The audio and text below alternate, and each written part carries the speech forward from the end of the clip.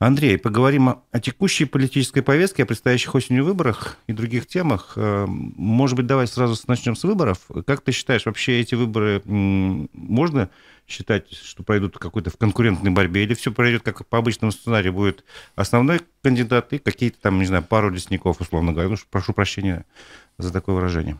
Нет, ну, во-первых, лесник – это у нас устоявшееся выражение, причем как это незабавно произошедшее именно из башкирской политики, вот все началось с этого министра лесного хозяйства, которого да. Муртазе Губайдуловичу выставляли в качестве некого э, соперника такого фейкового. Но а то, что касается выборов 8 э, сентября, э, здесь, конечно, интрига вторичного порядка, пожалуй, что. В том смысле, что мы, сейчас больше вопросов возникает, а кого выставят вот этими вот, ну, берем в кавычки, э, конкурентами Хабирова, да? То есть, причем мне как политтехнологу пришла в голову одна неожиданная мысль вчера буквально, вот какая. Значит, если выставляются совершенно смехотворные или какие-то тошнотворные э, персонажи, ну, то есть даже очевидно неприемлемые для э, должности главы республики, то действительно перед избирателем встает вполне себе резонный выбор. Ну, неужели мы вот какого-то клоуна там или совершенно человека, одержимого какими-то бесовскими идеями, значит, изберем на пост главы республики, когда у нас есть, ну, какой-никакой, а свой вот этот вот самый Хабиров, к которому, конечно, куча всяких претензий, но тем не менее. Согласитесь, ну, психологически это однозначный выбор, да ведь? А, и вот что-то мне подсказывает, что именно этим путем в этот раз и пойдут. Потому что появись маломальски а, адекватный, убедительный кандидат, а неприятие Хабирова так высоко, что этот кандидат автоматически может получить очень много голосов. Даже, Даже со скидкой с... на то, что выборы будут контролироваться. Абсолютно, да. В том-то и дело, что контролироваться они будут. Конечно, там будет вот эта вот корректировка результатов и прочее, прочее, наше традиционное занятие на выборах. Но а, ведь в том случае придется корректировать существеннее. То есть, вот, ну, берем гипотетический э, вариант, значит, вот бац, и там 45%, 40% получает вот этот вот Э, какой-то кандидат.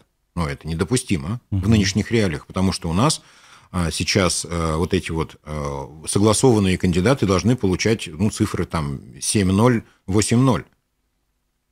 Никаких там 55%, 52% не может быть, потому что это не единогласная поддержка народа. Мы же сейчас живем в условиях абсолютного единогласия. Соответственно, ну вот.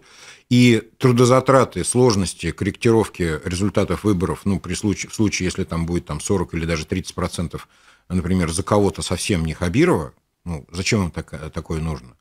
Кроме всего прочего, существует еще и объективный анализ выборов.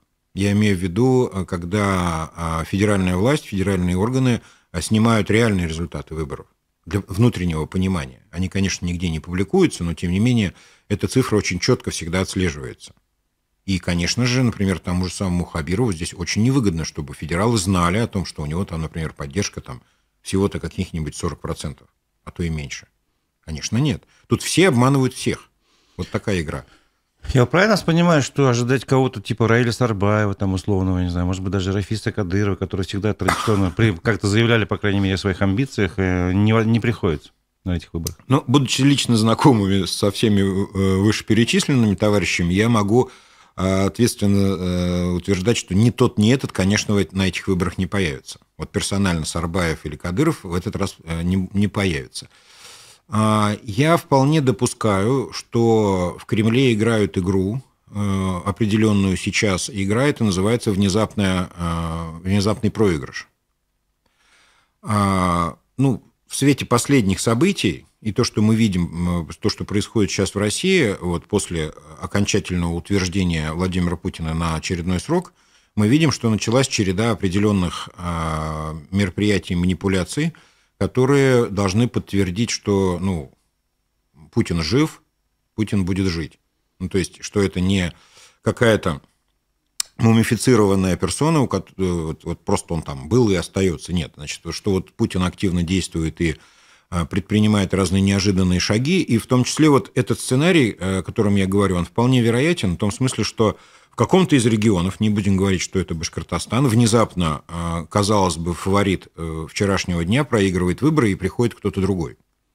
Тем самым будет иллюстрировано ну, немыслимый уровень э, демократии и избирательных значит, возможностей в Российской Федерации. Потому что ну, вот это уныние и апатия от российских выборов, она, они уже довольно основательно поселились в аналитике Кремля, в аналитике администрации президента. То есть никто уже, в общем-то, и не спорит с тем, что действительно население очень так безразлично относится к выборам, а это никак не на руку. А властям. что на это может указать? Какой признак, э, что, допустим, в нашем регионе именно такой сценарий может случиться? А, ну, один из э, показателей к этому – это очень низкий э, реальный рейтинг Хабирова среди населения, именно среди обывателей. То есть мы не берем группу, социальную группу чиновники, мы не берем социальную группу значит, сторонники партии «Единая Россия», мы берем вот широкий круг населения, который а, и испытывает Хабирову различную гамму негативных чувств, от безразличия до там, ну, какой-то совершенно горячей Но ненависти. На каком основании вы говорите вот об этом э, рейтинге? То есть а, ну, су- ну, во-первых, существуют определенные исследования, которые, там, скажем так, недоступны всем, но, не, но некоторым.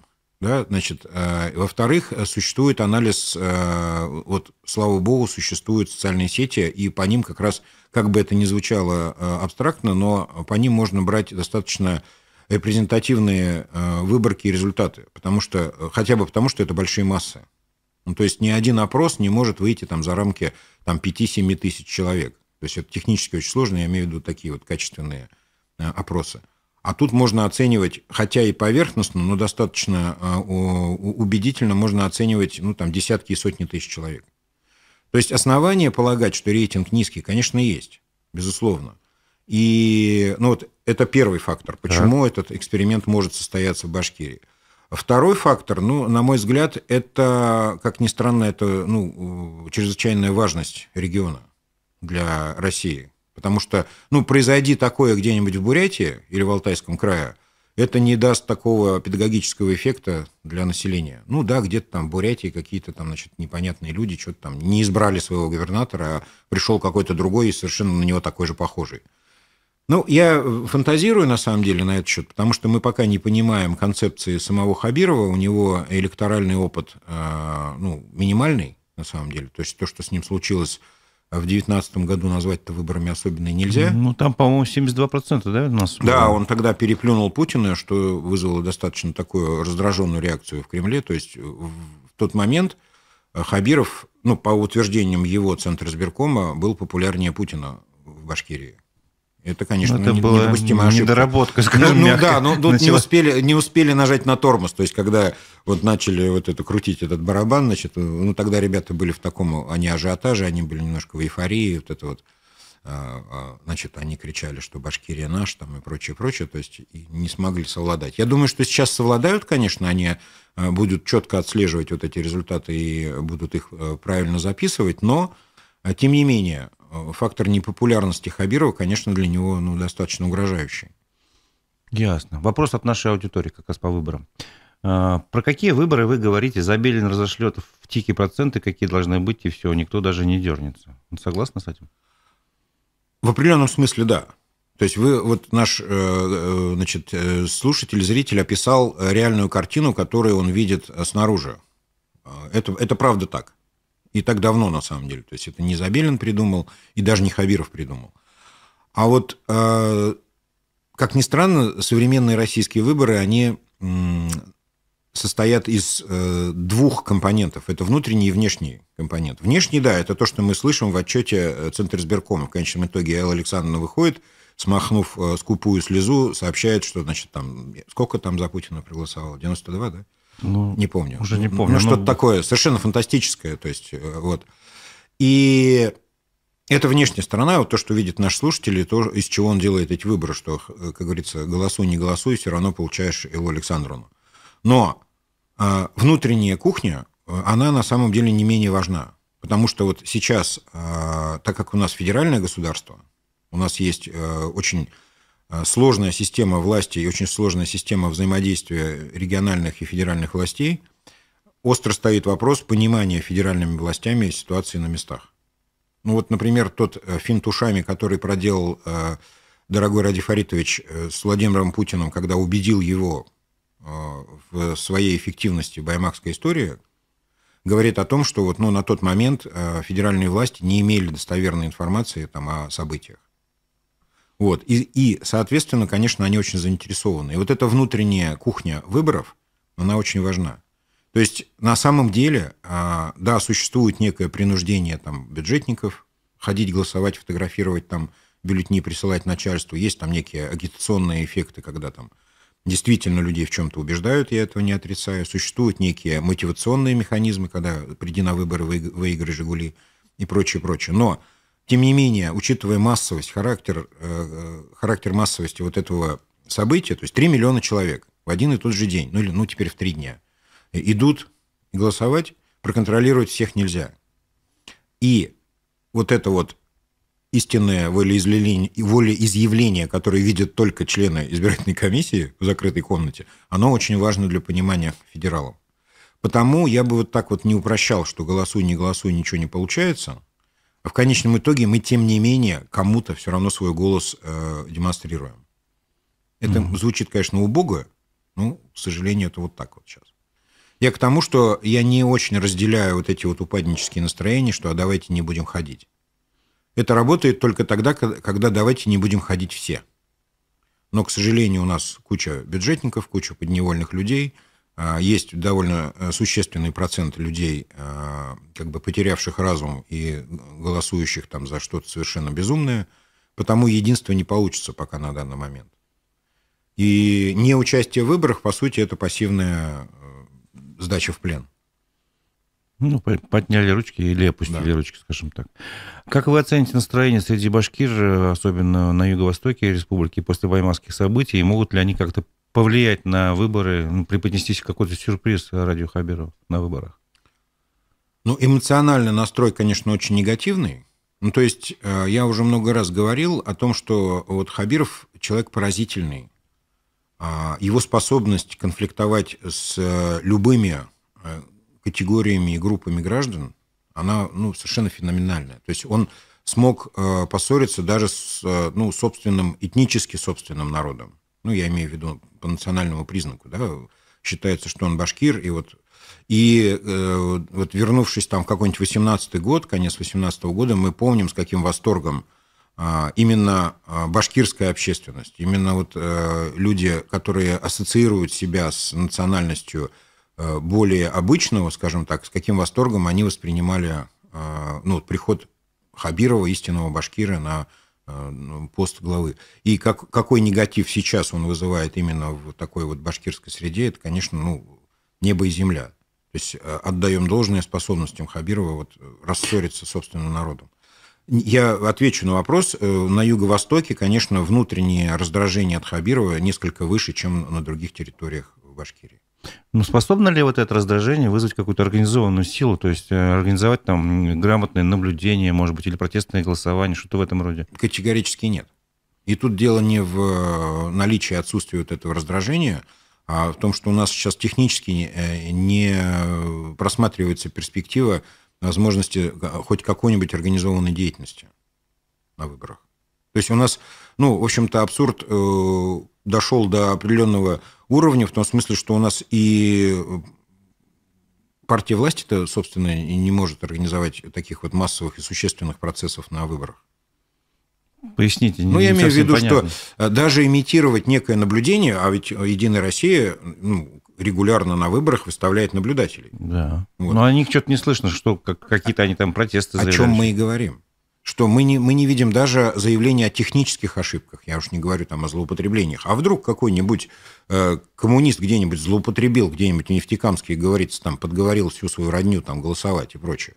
Мы даже этого не слышим. Я к чему? К тому, что сейчас э, ситуация внутри гражданского общества такова, что даже партия власти не особенно э, эффективно может инициировать какие-то вот такие вот массовые э, э процессы, как, например, наблюдение на выборах. У нас в Башкирии 3364 избирательных участка. Да? То есть, э, ну, худо-бедно нужно мобилизовать как минимум 6600 э, с лишним наблюдателей, а вообще-то больше. Есть там запасные замены и так далее по технологии. Так что вот, нет, ответ и заявить, мой, ответ надо мой за месяц нет. до выборов, еще если не ошибаюсь. Да, да? там еще куча сейчас ограничений по поводу есть. да, наблюдения. Хорошо, ну вот касаясь темы выборов, э, не могу не поговорить о Диларе Гундоровой. Вы про нее уже несколько раз говорили на своем канале, но я все-таки хочу вас спросить э, сейчас, здесь и сейчас. Есть ли у нее какие-то шансы на предстоящих выборах? Технически, главы? технически никаких. Ну, поясните, почему... Не, я имею в виду... А, ну, То есть вообще дела... в бюллетень не попадет? Дилара Закуановна проделала огромный путь а, за последние месяцы, вот с того момента, когда она возникла, вот так вот феерически возникла в политическом поле э, республики, а, на момент ее появления она была свято уверена, что главу региона назначает президент. С тех пор она прочитала несколько умных книг, Э, судя по всему, избирательный кодекс, э, Конституцию Российской Федерации, видимо, ознакомилась с Конституцией Республики и выяснила, узнала с удивлением для себя, что, э, оказывается, ну, по-другому немножко формируется высшая власть региона. У нее нет никаких шансов быть выдвинутой какой-либо партией, имеющей право на выдвижение кандидата здесь, в республике.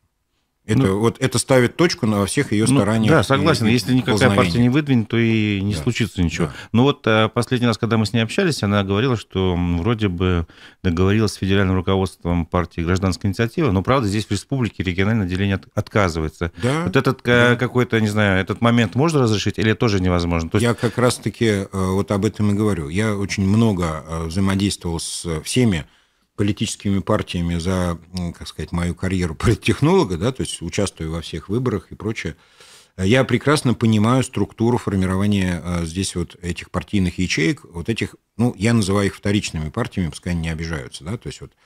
Ну, можно а, назвать непарламентские. Непарламентские партии, ну, да, непарламентские партии, непарламентские выражения. Так вот, вот эти непарламентские партии здесь представлены людьми, глубоко зависимыми от действующей региональной власти. Так было и есть всегда.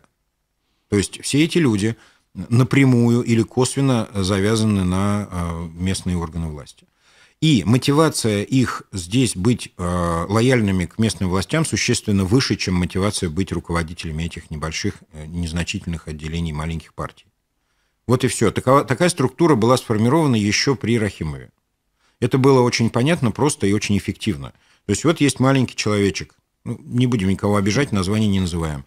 Он руководит этим маленьким отделением, в котором ну, формально состоит там 15 человек на всю Башкирию. Отделение создано только для того, чтобы было. Потому ну, что, по закону. По федеральному закону нужно иметь 54 отделения по стране, минимум. Все. Он на самом деле ничего не делает. Он не получает почти никакого финансирования от партии. Ну, максимум, что происходит, ему, например, арендуют какую-нибудь комнатку в каком-нибудь офисном центре в качестве офиса этой партии. Все, он даже там булавки и ручки покупает за свой счет. Работа, как правило, никакая не ведется. И тут, но при этом он очень э, качественно и тесно аффилирован с местными властями. Он имеет какие-то небольшие плюшки, какие-то небольшие значит, возможности и так далее, и так далее. То есть, и вот приходит час X, и мятежная дела Разакуановна врывается к нему в офис с криками «А давайте переустроим мир». Он говорит, да, в общем-то, я не против звонит начальству в Москву и говорит, вот тут у меня есть а Там говорят, да, добро. Ему говорят, а что? Ну, конечно. Мир да. надо переустраивать, особенно в Башкортостане, и срочно. Дилара Закуановна уже как поделилась с вами, разив тем, что у нее почти победа в кармане, но потом этот маленький человечек по своему обыкновению ковыляет в Белый дом э, на регулярный прием в управлении внутренней политики, ему говорят, слушай, ну, а ну цванцах фейрузипцах, зачем это нужно? Подумай о детях. И он возвращается и говорит, знаете, Дилар Закуановна, мы тут с однопартийцами обсудили, мы, пожалуй, будем против. Мы передумали. А Москве, по большому счету, все равно. То есть им, они отзвонят в Москву, скажут, что-то у нас тут не склеится. Они говорят, да ладно, что.